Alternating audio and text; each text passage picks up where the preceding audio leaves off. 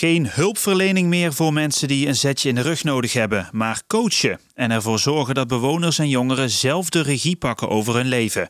Dat is de nieuwe koers van de Eindhovense welzijnsorganisatie Lumens.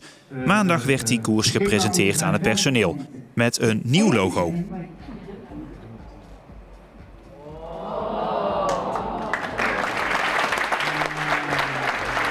We werden uh, wel eens in de zorgdomein geduwd. Wat zijn de hulpverleners? We gaan, en dat was ook wel een beetje zo. We gaan terug naar onze roots, waar we vandaan kwamen. We hebben uh, fantastische concepten vanuit Dynamo, vanuit Speelpark de Splinter, vanuit de buurthuizen. Waarin we mensen meenemen om mee te doen in deze maatschappij. Waarin we ze leren hun passie te ontdekken. Waarin we ze inspireren om te kijken waar ze goed in zijn. Om dat uit te ontwikkelen, om ervan te leren en om een plekje te verdienen in deze maatschappij. In de arbeidsmarkt, of als ondernemer, of als vrijwilliger. Het welzijnswerk in de buurten in de regio Eindhoven gaat dus op de schop. De tijd van hulpverlening aan huis is definitief verleden tijd. Dat wordt voortaan door zorginstellingen gedaan.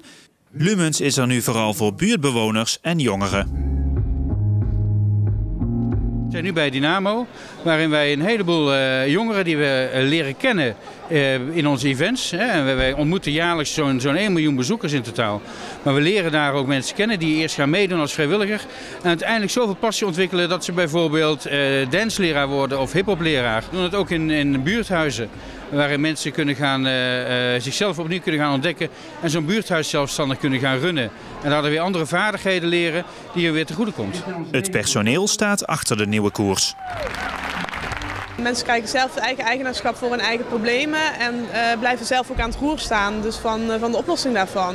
Dat is goed. Dat vind ik wel. Ja, dat vind ik wel een hele positieve ontwikkeling. Ik denk dat de, wanneer de, de, de, nadruk op de jeugd en werk komt te liggen, waar, waar het ook wel op lijkt, eh, dat we daar als maatschappij uiteindelijk wel profijt van zullen hebben.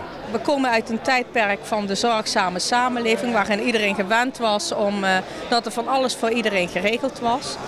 En dat juist deze stap kan bijdragen in die transitie daar naartoe. Dat mensen het zelf ook weer ter hand durven te gaan nemen. En de zeggenschap en verantwoordelijkheid terug durven te nemen.